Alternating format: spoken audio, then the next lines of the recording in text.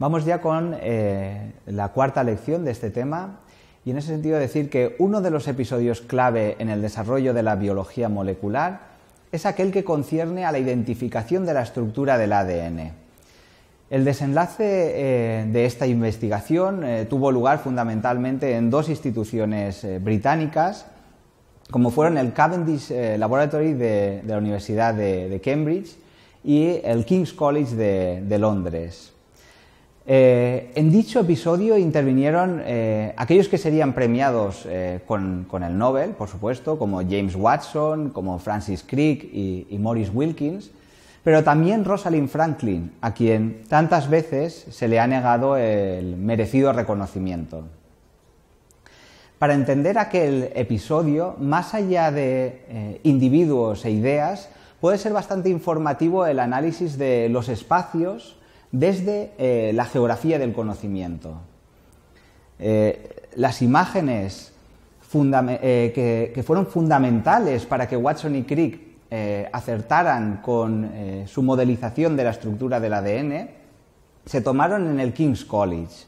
Dicha institución se había fundado en 1829 y constituyó una de las instituciones que dieron origen a la Universidad de Londres en 1936.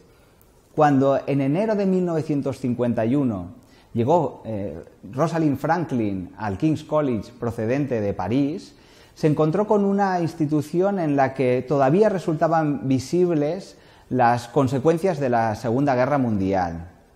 Los espacios planteaban limitaciones físicas evidentes y, y, en concreto a Rosalind Franklin se le asignó un laboratorio de pequeñas dimensiones situado en el sótano y con un equipo eh, muy anticuado.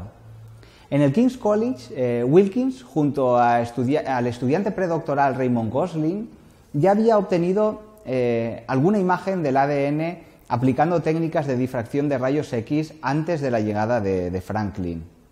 Pero estas no habían sido demasiado exitosas, en gran parte debido a la precariedad del equipo utilizado. Franklin dedicaría mucho tiempo a poner a punto eh, el laboratorio para poder llevar a cabo su trabajo y lo haría junto a Gosling, que pasaría de ser supervisado por, Maurice Wilkins a eh, ser supervisado por Rosalind Franklin por decisión del director del centro en aquel momento, que era eh, John Randall. El espacio al que llegaba Franklin era a priori especialmente interesante por los trabajos que existían en marcha, y la experiencia acumulada en, dicho espacio.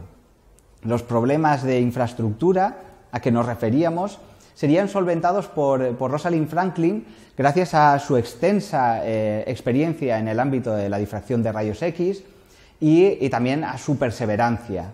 Sin embargo, el centro presentaba otras limitaciones eh, espaciales, podríamos decir, que no podrían ser revertidas por Franklin. El King's eh, se había formado como una institución eh, exclusivamente masculina. Y a la llegada de Franklin, pese a que eh, las mujeres ya podían obtener títulos de licenciatura e incluso trabajar en el centro, todavía existían vestigios importantes de aquella cultura segregacionista.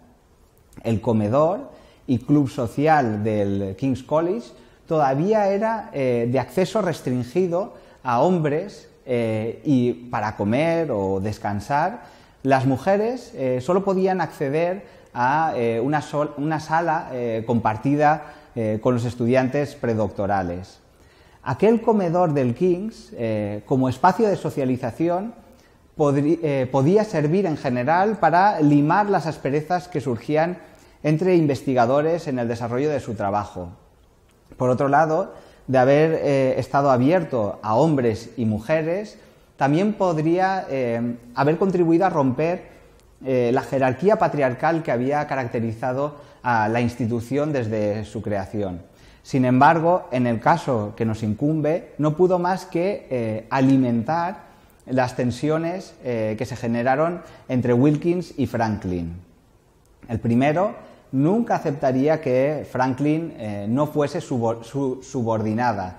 Y la tensión que se generó entre ellos eh, llevaría a Franklin a abandonar el centro. cuando, según nos eh, explicaría Francis Crick años más tarde, estaba a un paso de identificar la estructura del ADN.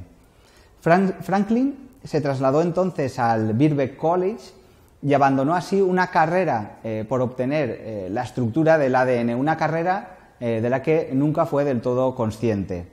Al poco tiempo, Wilkins facilitó de manera irregular el trabajo de Franklin a, Watson y a Crick y lo hizo sin que ésta lo supiese. Las geografías del conocimiento fueron así pieza clave en el desenlace de aquella investigación y en la posterior injusta distribución de mérito por el trabajo realizado. Bien, acabamos así eh, esta lección.